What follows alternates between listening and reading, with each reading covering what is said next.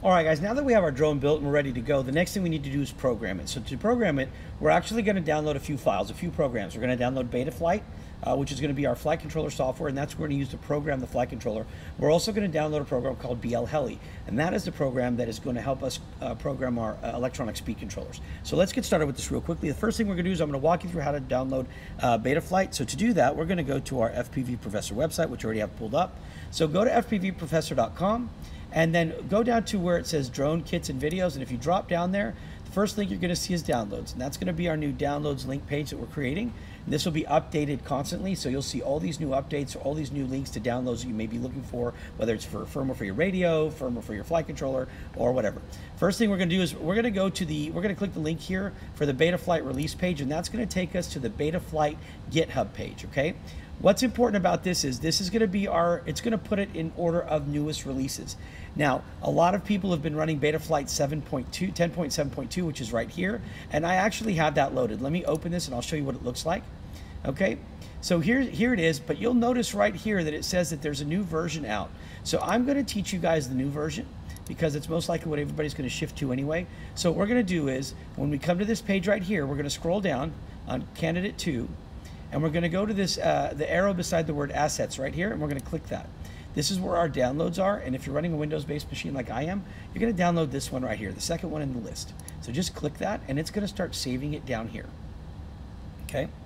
Once it saves it all you're going to do when it's done downloading is you're going to just wait for it a second click it there you go. Once it's done downloading make sure to click it and you're going to get this windows protected uh, protect your pc error. Don't worry about that just click more info and then click run anyway all right.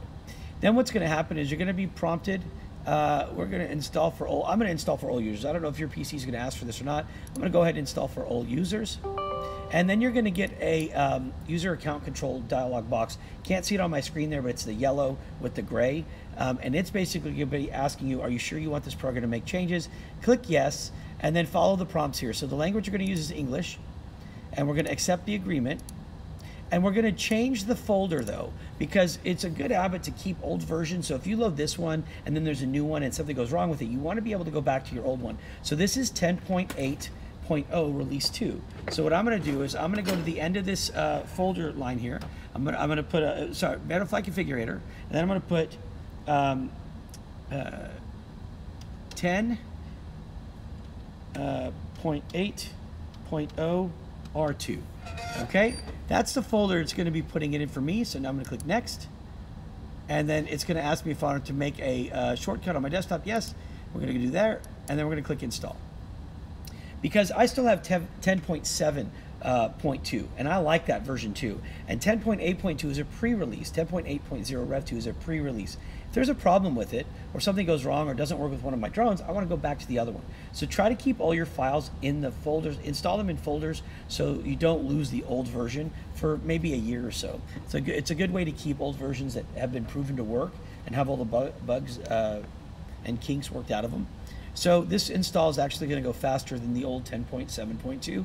Uh, it should be done here in just a second, and then we're going to open it, and uh, and then we're going to stop this pretty much right here, and then come back and plug in the drone and do all those kind of things. All right, so right here when it's done, it says it's got a checkbox beside beside Start Betaflight Configurator, so I'm going to click Finish, and so I'm going to wait for that hopefully to open.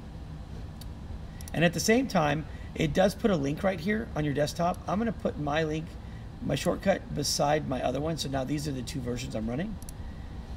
Uh, and you know what? It may not launch that one because I had the old one open. So now let me go ahead and open the new one here. And there you go.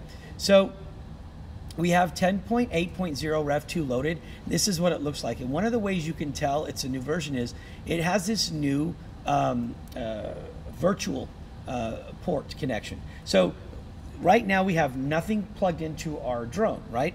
And if we click connect, it's going to actually get started anyway. It won't be doing anything for us, but it'll get started as a virtual port for us to kind of work through. The old version didn't have that. So, uh, but what you're going to want to do is you're going to want to use the regular mode right here when we plug our ports in. And I'm going to show you exactly how to do that in just a second. But right now, just make sure you get to this point where you've loaded Betaflight and you're able to get it to uh, start up, okay? And I'll be right back to show you the next step.